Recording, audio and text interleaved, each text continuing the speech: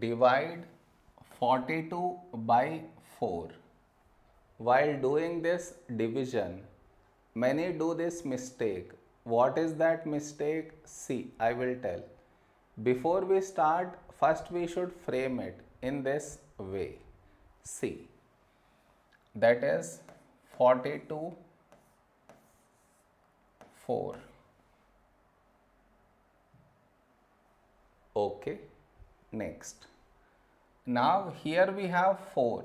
Here also we have 4. When do we get 4 in 4 table is 4 ones 4. Now you subtract you get 0.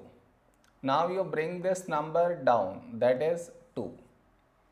Okay, this is where many do this mistake. What is that mistake? See, here 2 is smaller than 4. So what they do is they put the decimal here and take 0 here which is wrong. You brought this number down in the same step you cannot put the decimal and 0. Both at a single step is wrong.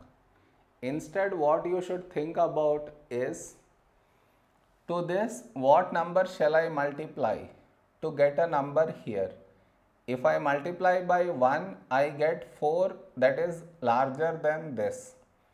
So we should multiply by 0. So 4 into 0 is 0.